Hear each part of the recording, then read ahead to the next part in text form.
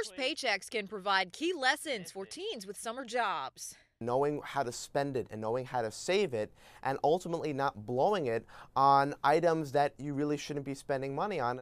But that check can look slightly smaller than young people hope, which brings another lesson taxes.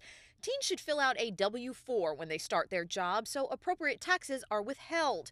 Typical deductions are federal and state income taxes, local taxes, and payroll taxes, including Social Security and Medicare.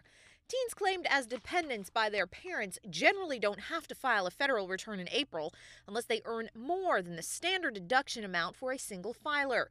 In 2013, that's $6,100. If they're not required to file, they still can to get their withholding back.